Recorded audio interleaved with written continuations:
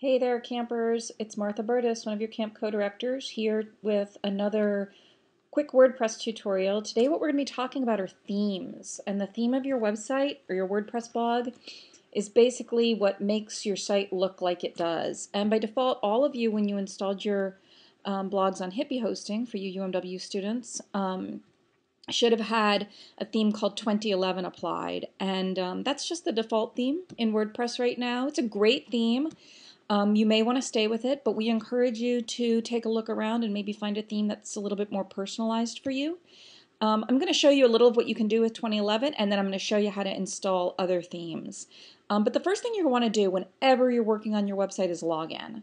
Um, and there are lots of different ways to do that. I'm going to tell you two quick, easy ways um, so that you never get lost. If um, if you go to your sites now and your theme is still 2011, um, and you scroll down over here in your sidebar, you should see a button that says Login. And if you click on that, that'll bring up the login screen. But the other trick that it's really good to know um, is that if you type in after your URL just slash WP dash ADMIN or admin, that will also um, be a way to always get to your administrative back panel, and if you're not logged in, it'll first log you in. And the reason why it's good to know this is that sometimes when you apply a new theme, that little login link that you see right now in the sidebar might not be there. Um, but don't worry, you can still log into your site. Um, you just have to know this little trick. So it's slash WP dash admin um, at the end of your URL, and if you want, you can just bookmark that, stick it in your browser toolbar, make it really easy to always be able to find. So I'm going to go ahead and click that, and I'm going to uh, type in my user ID and password that I chose when I was setting up my site here. Um, go ahead and save that password. And this is the back end of WordPress, which we looked at a little bit in the last tutorial I did when I was showing you how to add or edit posts. Like I said, today what we're going to be talking about is themes. Um, and what I like to do whenever I'm working on my blog actually is right up here I'm in a tab that's a, that's my dashboard. This is the back end of my website. I like to open up another tab and I'll just slide that over next to it. You can do that in just about any, you should be able to do that in any modern web browser. Chrome, Firefox, even Internet Explorer. Um, it should be Control T or Command T on the Mac to open up a new tab. Um, and in this other tab, I'm just going to open up the front end of my blog. This is a nice technique because it makes it a little bit easier when you make changes in the back end to just quickly jump over to the front, front end, click your refresh button, and see what happened. And especially when you're changing themes, that's a nice, nice way to quickly and easily see um, the effect of the theme that you've installed.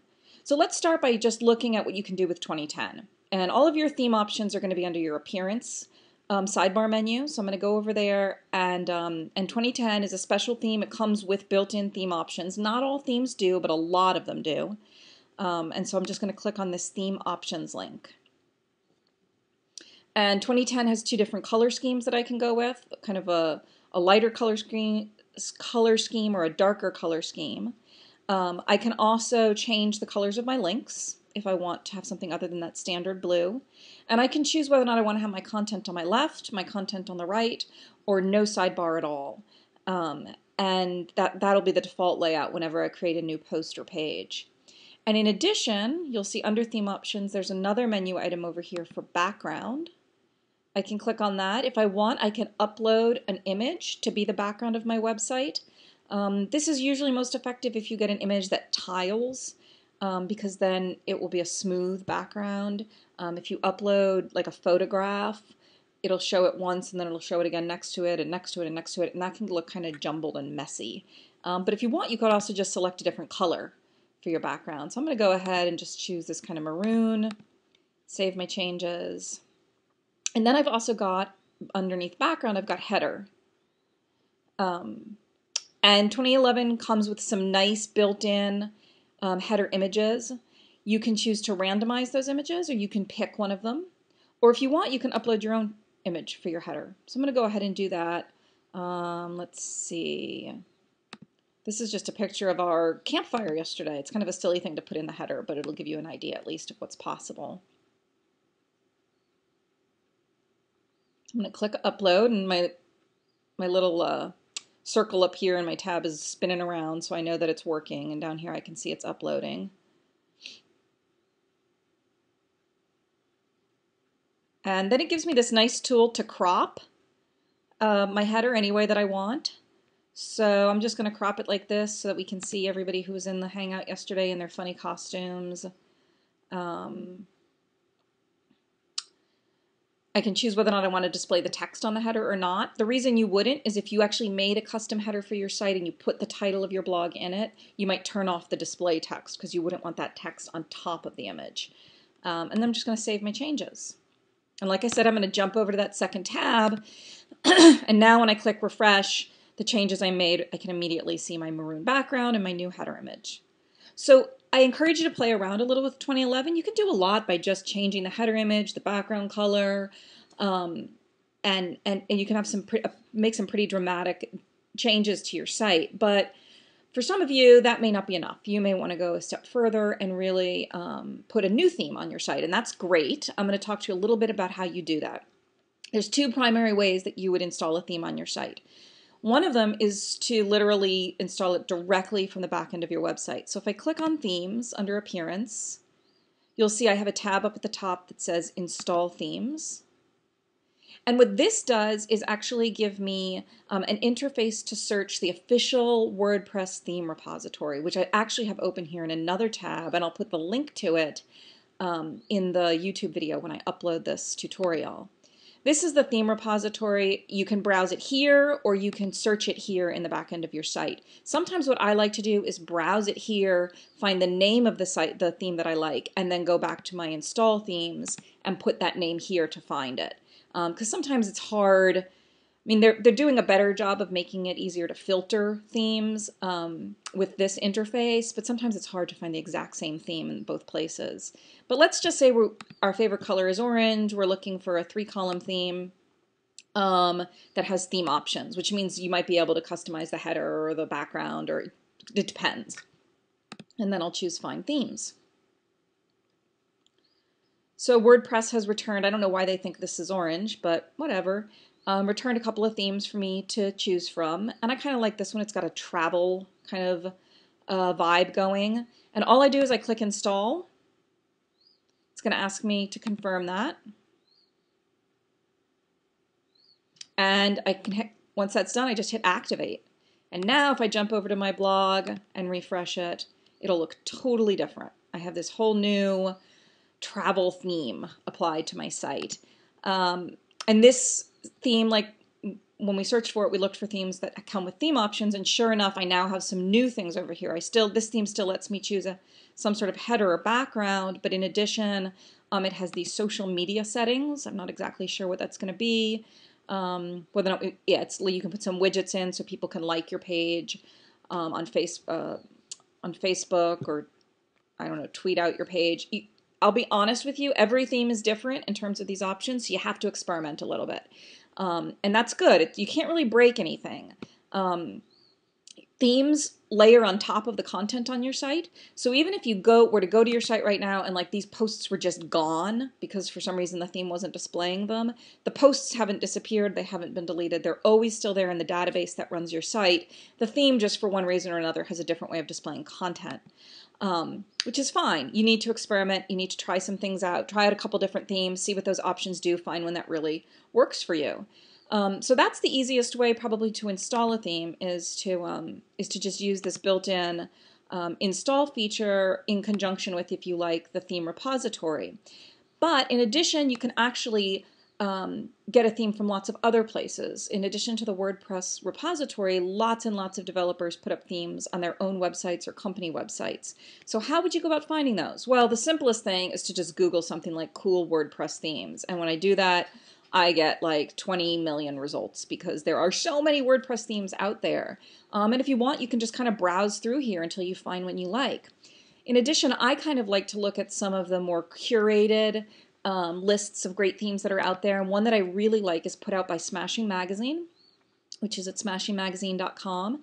And every year they do an edition of the best top free WordPress themes. I should mention all of the themes that, you know, are in here that I'm was looking at in the repository are free, but you can pay for themes. We're not asking you to do that, but sometimes when you you know developers will come up with really slick fancy themes and then they actually attach a price to it because they've spent so much time on that. Um, but the Smashing Magazine is a great directory, is a great listing of themes, and it's broken out into different kinds of sites. So if you wanted a site that really was a portfolio of your photography, these are portfolio themes. Um, further down, we've got site themes that are more aimed at business or corporate websites. Here's one that's actually for an academic website, like for a university. Um, keep going here. Minimalist themes, so themes that really are very, very basic, simple, and elegant designs. Um, in.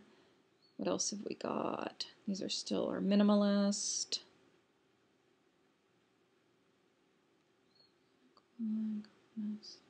What if I missed a? There we go. Blogs and personal websites. So this might be a category that you guys are most interested in. There's lots of different um, themes listed here, and Smashing has actually kind of described what those themes do and um, what some of the special features of them might be. So I kind of like this one. It's called Skeptical. Um, I'm going to go ahead and click on it. And it takes me to the website for Woo Themes, which is a big theme developer for WordPress, where I can download, and this big button here, it says download this free theme. And I'm going to go ahead and do that. I have to register to do this. I actually already have a, um, a Woo Themes um, account, but let's see if I can't just fill this out quickly. Oops. Because I'm not sure I remember my password. So go ahead and submit that.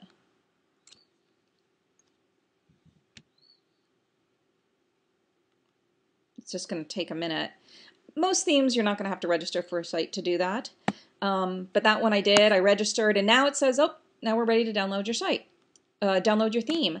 I'm going to stick it in my downloads directory. You can put it wherever you want, just as long as you can find it again. And I'm going to choose save. And what it downloads is a zip file, which is just an archive file of a bunch of different files. Um, and when it you unzip it, um, it kind of explodes all of those files so you have all of the files associated with the theme. We're not actually going to unzip this. You don't want to unzip this right now. What you want is just the zip file because what we're going to do is upload it into our site and WordPress will unzip it for us and install the theme and then we just activate it just like we did with the one we installed directly from the back end. So that's still downloading. I can see the little monitor down here in the bottom left hand corner. It's almost done and there it is. So now I'm going to jump back to my WordPress tab where I had my Install Themes tab open. And I'm going to choose Upload instead of Search, which is what we were doing before. I'm going to choose Upload and then choose File. And I know it's in my downloads. So there it is, Skeptical. And just click Install Now. And that'll just take a minute. Well, now it has to upload that file. I just downloaded it. Now it has to upload it. It's going to take a little bit.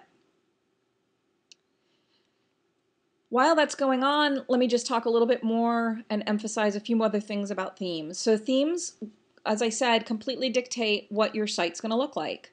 Um, it, they determine what text styles are being used, um, maybe how images are laid out in the header or the background. They may have special stylings for images that you insert into pages or posts.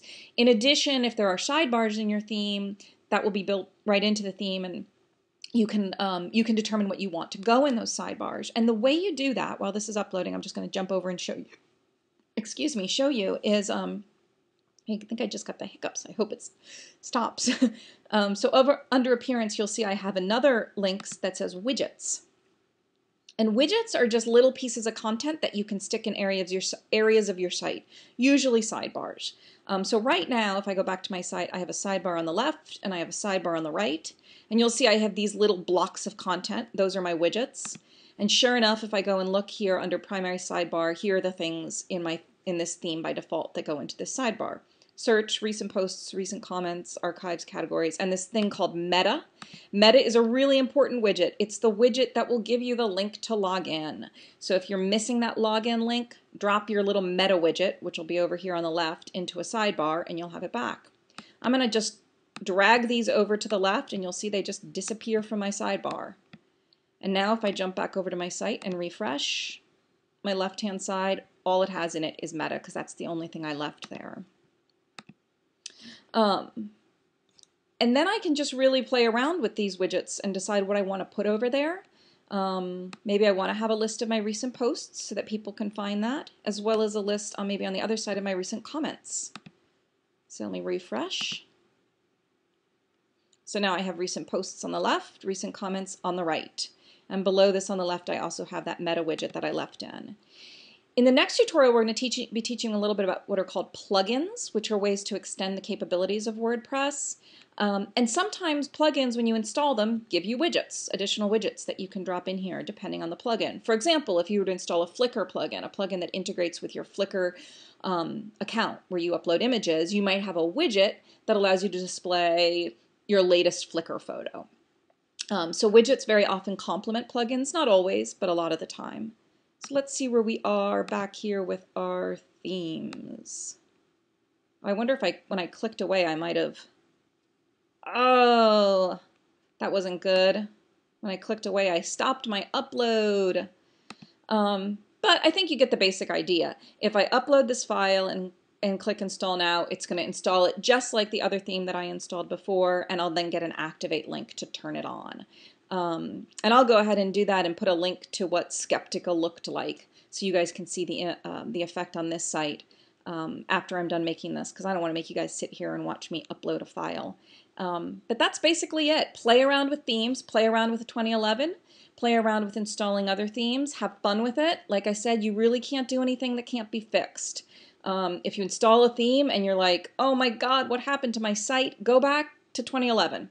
Um, that'll always take you back to the default. You can always go back to um, this manage themes and say, up, oh, activate, here's 2011, activate that.